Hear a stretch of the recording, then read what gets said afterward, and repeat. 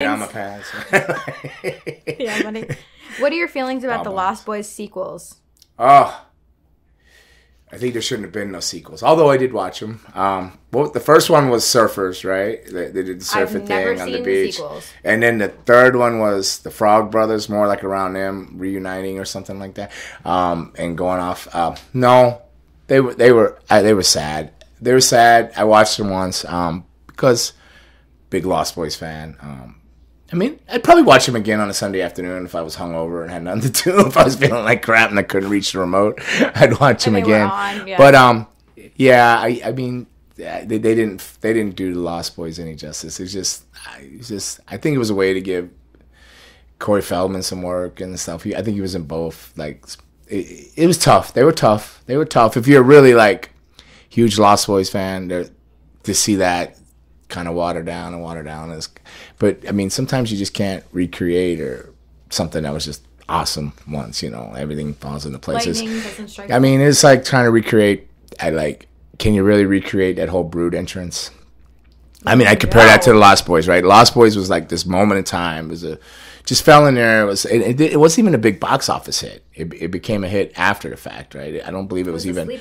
Yeah, and it creeped up, but um, but it's just all the actors, Kiefer Sutherland, they're all just uh, the star, uh, the, the girl, and everything was just perfect for that part. Every everybody's character, even the the, the head vampire and the mom, the mom. I love the mom from the Lost because every movie she's in, I love her, and even Footloose. Like she plays a mom in Footloose, you know.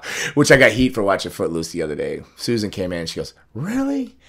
Like, yeah, I'm Kevin Bacon guy. I, I like some Kevin Kevin, Bacon. Bacon. I like some Kevin Degrees, Bacon. And I like some foot. You gotta cut loose, oh, there's the TikTok dance right You know, there. Sunday shoes. Please, Louise. There you go. So you have to sing. Wow. All right. Yeah. So no, I didn't like him, dude. Uh, uh, who was that? Who asked that? Rick Uh, Rick, Rick. Rick Michaels. That sounds like a wrestling name. Rick Michaels. with an R I K too. Ah, Rick Michaels. I, th- I know a Rick Michaels. I think I know a Rick Michaels. Do somewhere. you? Well, I'm pretty sure there was Randy Michaels and there's Shawn Michaels and then there's Rick Mondo McMichaels. Uh, that's Mac Michaels. Uh, yeah, I don't know. but um, no, I didn't like them. Unfortunately, I did watch them and, and I got through them and and uh, and uh, but they, they didn't rank very high on my my my list. Um, no. Well, I know we talk about the movie, but one thing I think we neglected to talk about is how incredible the soundtrack is. Uh, Cry Little Sister is a bop. Yeah, the seasons after remix. You ever you ever hear their version? I've heard of remix, yeah. Yeah, yeah, that's good.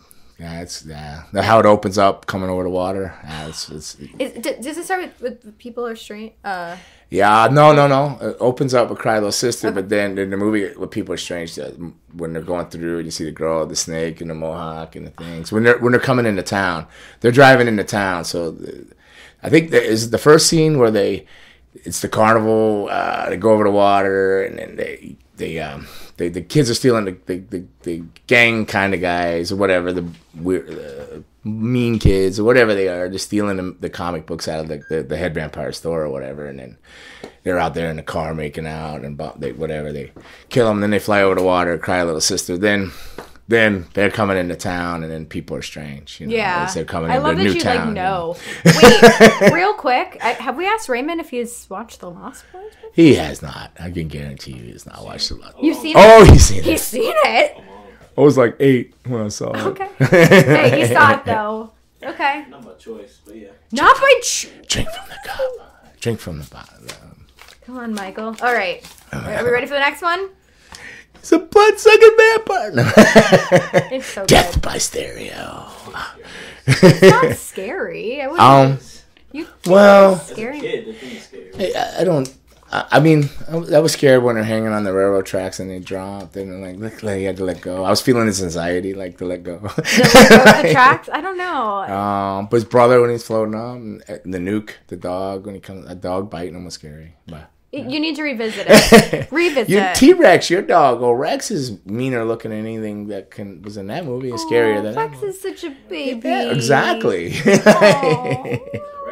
bad guy. Shout out to Raymond's dog Rex.